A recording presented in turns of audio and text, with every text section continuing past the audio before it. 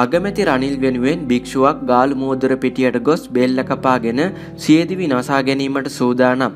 රනිල් වික්ටම්සිංහ අගමැතිවරයා හොරෙක් කියා ඔප්පු කළොත් තමන් ගාලු මෝදර පිටියට ගොස් බෙල්ල කපාගෙන මිය යන බව කොළඹදී පැවති මාධ්‍ය හමුවක් අමතමින් අබන්වෙල ඥානාලෝක හිමියෝ කියා සිටියා.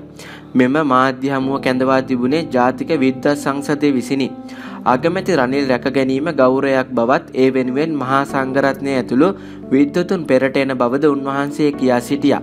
මෛත්‍රීපාල සිරිසේන ජනාධිපති මෙරටට බිහි වූ ශ්‍රේෂ්ඨතම නායකයෙක් බව එහිදී මාධ්‍ය අමතමින් සංසදයේ උපසභාපති මාලබේ සීලරත්න හිමියෝ කීහ. හොරකම් නොකරන ජනපති සමග හොරකම් නොකරන අගමැති ගහට පොත්තමෙන් එක් වී යහපාලන ආණ්ඩුව ඉදිරියට කරගෙන යා යුතු බවත් උන්වහන්සේ පැවසූහ.